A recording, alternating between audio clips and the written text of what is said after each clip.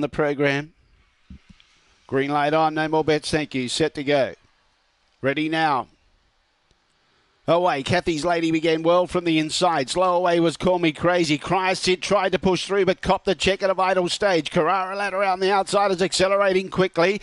Sid starting to recover, goes to an inside run, but Carrara Lad burns them off around the bend. Saloon Princess gets in the third, chasing out after the leader. Sid can't get through, then Mr. Perfect. Carrara Lad in front, holding on. Carrara Lad's going to be too good. Second, Sid. Third, Mr. Perfect. Fourth, tie, Kathy's Lady or Saloon Princess. The others were always well back back at the tail end of the field.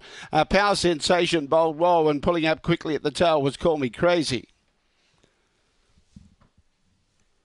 Around 23.70 the time. Number eight, Carrara Lad takes first prize. Gets up at big odds. Eight's beat five. Cry sit.